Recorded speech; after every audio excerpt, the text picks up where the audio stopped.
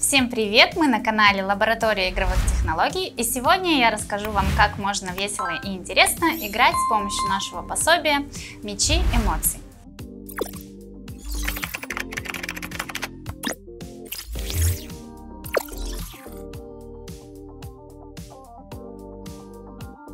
Что входит в состав пособия и э, из чего оно состоит, вам подробно рассказывал в своем видео Александр. Я расскажу, как можно его использовать в работе с детьми. Сейчас я покажу вам, какие здесь классные мечи и почему, э, пока я достаю мечи, расскажу, почему я очень люблю именно пособие в форме мячиков, а не в форме привычных карточек, которые обычно используются для обозначения эмоций. Потому что мяч а, это всегда а, ассоциация с чем-то веселым. Это ассоциация с детства, она даже есть у взрослых, остается на долгое время, что это игра, это весело, это интересно.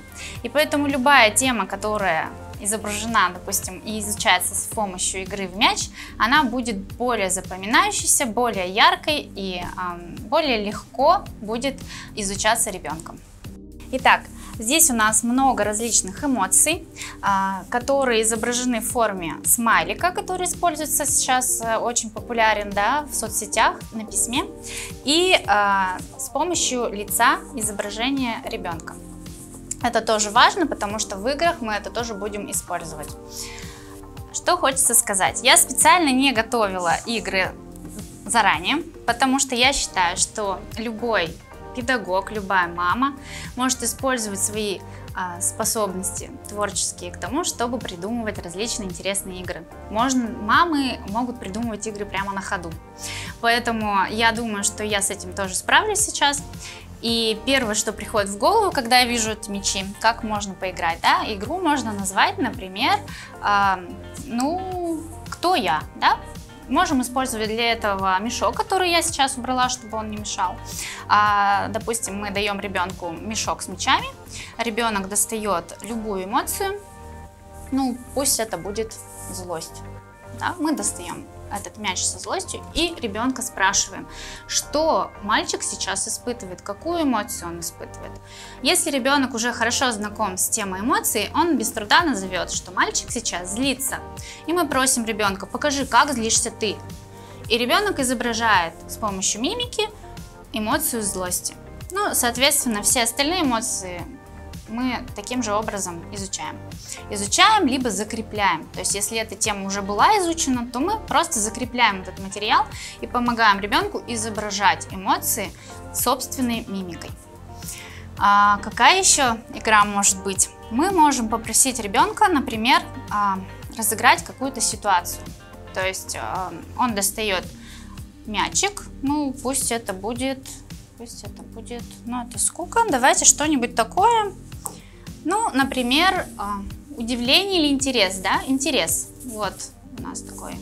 Он чем-то заинтересован, этот мячик. И мы спра спрашиваем ребенка, была ли в твоей жизни ситуация, когда тебе было что-то очень интересно? Расскажи про нее. Если это работа в группе, то детям будет всем интересно послушать, что же такого интересного бывает в жизни, что видел этот мальчик или девочка, которая вытянула этот мячик, чего не видели они. Это будет очень интересно и увлекательно. А, также можно а, спросить, например, а, часто дети не могут рассказать про себя, да, то есть он вытягивает эмоцию, и мы спрашиваем, а когда ты злился? А, покажи, как ты злишься. Показать, как он злится, он может. Но, допустим, если мы спрашиваем у ребенка, что ты сейчас испытываешь, покажи, вытяни эту эмоцию среди этих мечей. Он может замешкаться, растеряться. Ну, так же, как и любой взрослый, говорить о чем-то личном, это, ну, непросто. И, соответственно, если это происходит в группе людей, детей, не всем детям хочется об этом рассказывать, поэтому он может выбрать самую простую эмоцию, например, радость, даже если он сейчас грустит. Поэтому, чтобы ребенок научился испытывать, примерять на себя новые эмоции, мы можем предложить ему рассердись, как, например, злая грозовая тучка. И покажи, как злится злая грозовая тучка. И тогда ребенок уже сможет примерить на себя какую-то новую эмоцию, например, злость. Либо мы можем попросить его, испугайся, как зайчик, за которым бежит волк. И он уже не будет примерять это лично на себя и гораздо проще покажет, как злится, например, грозовая тучка. Детям это дается гораздо проще, чем показать, как злится он сам. Сейчас я покажу, как можно использовать еще и карточки, которые входят в этот набор. А, несмотря на то, что мечи я люблю больше, чем изображение на карточках, можно а, вполне себе это миксовать. То есть, например, мы используем карточки и просим ребенка. На каждой карточке есть изображение, такое же изображение ребенка и э, знак вопроса то есть э, мы можем убирать карточки вниз лицом и вытягивать их, да, то есть мы вот так вот таким образом перед ребенком раскладываем, будет такой элемент неожиданности, когда ребенок вытащит какую-то эмоцию, а, тоже такой игровой элемент. Например, вот так, таким образом мы разложили карточки и просим ребенка, а, достань какую-нибудь карточку, что ты там увидишь. Ну, допустим, вот мы достаем такую да, эмоцию и говорим, сейчас представь себе, что ты пишешь письмо своему другу. Ну, в, любом из, э, в любой из соцсетей. Я думаю, что даже маленькие дети сейчас уже умеют пользоваться, а, допустим, какими-то средствами передачи информации, которые используются в телефонах, либо в компьютерах, и мы просим, а, покажи смайлик, которым ты изобразишь такую эмоцию на мече. И среди мечей он выбирает уже не изображение ребенка, а изображение смайлика. Таким образом, он, э, опять же, лучше изучает изображение эмоций, как мы можем выразить эту эмоцию, как она выражается на лице, как она выражается с помощью смайлика и, соответственно, как она может быть выражена с помощью собственной мимики. Еще одна даже две игры, которые пришли мне сейчас в голову, э, я вспомнила из детства. Это, к слову, о том, как можно творчески подходить к процессу. Да? А, была такая игра, все в нее играли, съедобная, несъедобная, с помощью мечей. Когда тебе кидают мячик, и ты должен либо отбросить мяч, если это несъедобное, либо оставить себе. Здесь можно такую же, такой же принцип использовать при игре с эмоциями. Например, вы задаете ребенку ситуацию. А, ты идешь по улице, и на тебя бежит лающая злая собака. Какую эмоцию ты испытаешь? И кидаете ему, например, эмоцию страха. Что должен сделать ребенок? Он должен ее поймать, потому что когда на тебя бежит злая собака, это страшно. Если бы у меня в руке был мячик радости, и я бы кинула его ребенку, то ребенок бы должен был его отбить. Вот таким образом в игровой форме мы также можем знакомиться с ситуациями и тем, какую эмоцию ребенок в этой ситуации испытывает. Еще одна игра из детства, которую я вспомнила, оно, ее единственное условие, что там должно быть несколько людей, то есть это не обязательно э, там большое количество людей, но как минимум три человека в ней должны играть, чтобы это было интересно. Это игра э, типа испорченного телевизора, э, создается такая ситуация, что есть ведущий и есть несколько человек, которые стоят в ряд.